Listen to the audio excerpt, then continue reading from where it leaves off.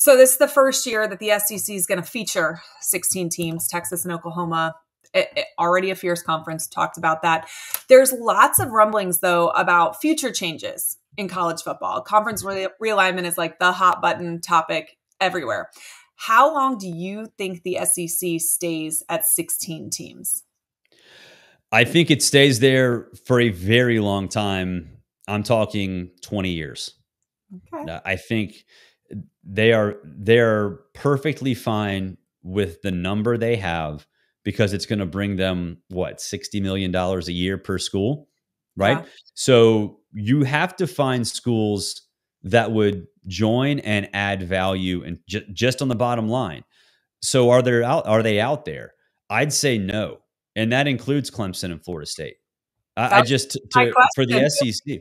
Yeah, I mean, so I, nope. I think I think for the I think for the SEC, would Clemson bring that much? Would Florida State bring that much? It'd bring a lot. Both of them would bring a lot. But from a TV perspective, I just can't see how they could top that. I don't see how a lot of teams could top that number. Um, so I think they stay for a very long time. Uh, I think the the big mover is going to be the Big 12. And I love Brett Yormark. I call him the conference commissioner ninja because he, everything he does is actually, he, he's not only saved that conference, I think that he has made the Big 12 a, a, a probably the most interesting conference in the country. So I think the SEC stays. The Big 10 might add teams just for the sake of adding teams, especially if they're academically powerful. But I think the Big 12 is the one to look at because if if Florida State, Clemson, North Carolina can't bring 60, 65 million dollars worth of value to the SEC and the ACC is collapsing, I mean, it's going to be like Pac-Man for the Big 12.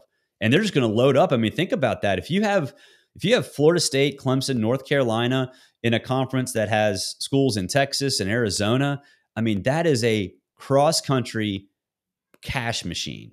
And yeah. I mean, it's I mean, that's it wouldn't bring the Big 12 to Big 10 SEC status, but it would be it would be in the ballpark and and that's all you need. So like going back to sort of what kind of a, a tangent um, if the SEC or if, if we start to see more dominoes fall, especially with these lawsuits, yeah. I think Clemson and Florida State are going to the Big 12, which is so, is going to be really solid but so but are they going to be looking at similar revenue if they go to the big 12 so are they are they doing all of this the lawsuits fighting to get out of the conference to be in a similar situation but just have to travel across the country similar situation but six years closer to a renegotiation yeah and that's the thing is like yeah okay you might make the same amount of money but in 2031 when the big 12 tv contract wraps up they're going to be like, "Oh, you have Clemson, Florida State, North Carolina. Like, oh, let's go. Let's let's let's crank this thing up a notch." So,